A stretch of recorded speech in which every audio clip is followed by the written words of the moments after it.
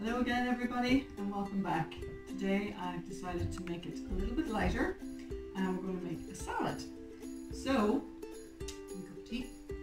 I have a broccoli flowers, a whole head of broccoli and I've cut them up into teeny tiny little florets, okay?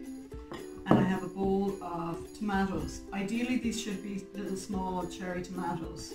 Uh, you know those sweet juicy ones are, are best, but I don't have them, so just pretend these are little tiny tomatoes. And then I have my roasted hazelnuts.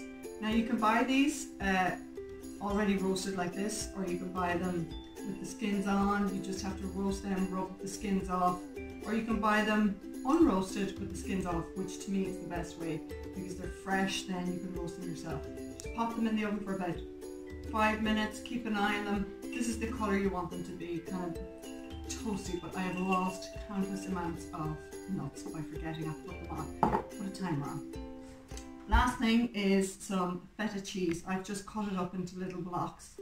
Um, I love Polish feta cheese. It's just wonderfully tasty, creamier. So I'm using that today. So basically, throw everything in together um, mix, mix them around.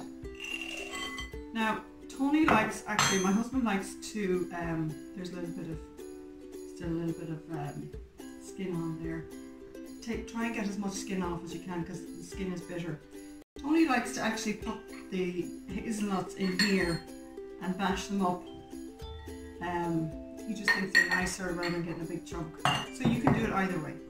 But mix everything up together first because when you add your cheese, you don't want to be mixing too much or your cheese breaks up and you don't get that visual look of all the different colors. So I'm just going to pop in the cheese here gently.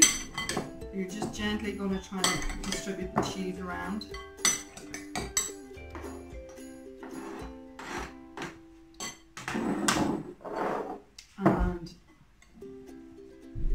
Just gently lift it through. Okay, so that is basically your salad. And you can leave it like that, but what I like to do is make my own dressing, but with it. We keep all our jam jars. We were in Canada a few years ago and uh, we were in James and Patty's house and they had jam jars as glasses and I thought that is such a good idea. We go through so many jars and they're actually tougher than glasses. I should say we go through many glasses. Anyway, here I wanted to also show you the difference between spoons, just in case you don't know. This is a tablespoon, this is a dessert spoon, and this is a teaspoon. Okay, for this recipe we're using a tablespoon, and we're going to pour six tablespoons of olive oil in here.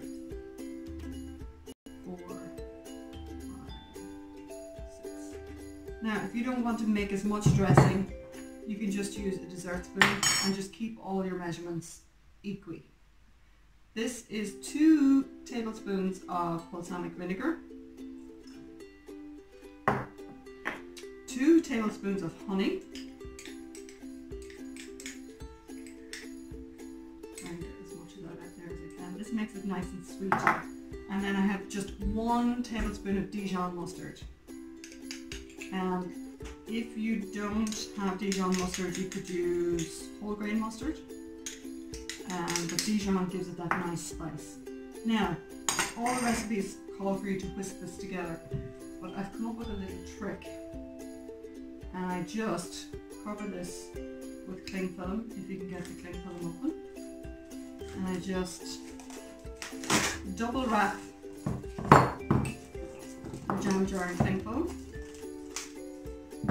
Make sure it's nice and tight. And just shake. Shake, shake, shake, shake, shake. Okay. And as you can see, the texture of this has changed completely. And it's nice and thick and creamy. And then you just drizzle that over the top. Or you can serve it on the side if there's some people who don't like dressing. Hazelnut, broccoli, tomato and feta cheese salad with a balsamic vinaigrette dressing. I'm keeping it light and simple today. I was talking to a couple of different friends and they were saying how, you know, some days you have, you know, a kind of a down day and uh, I think the way it goes is every few days you're going grand and then you just go, what is actually happening? So I think I'm having it, what's actually happening from the ground. So keep it light and simple. Hopefully see you again soon.